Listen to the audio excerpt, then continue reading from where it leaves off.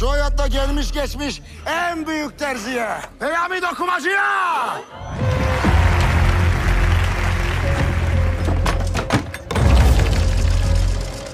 Ne insan hep çalışarak mutlu olur. Ya nasıl mutlu olur? Aşkla.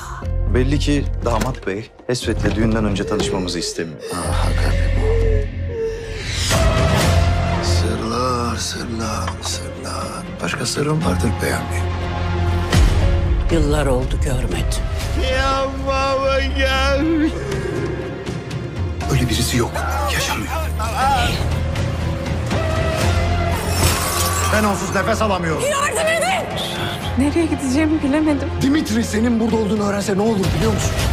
Seni gördüğüm an kaçtığım şeyin aslında daha çok beni kendine çektiğini anladım.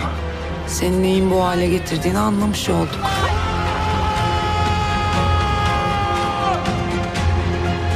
Ne zaman tereddüde düşersen kalbine sor.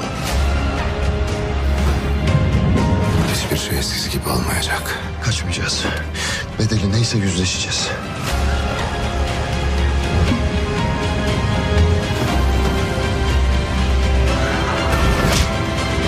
İkimiz de birbirimizi çok iyi tanıyoruz Dimitri. Savaş mı, barış mı?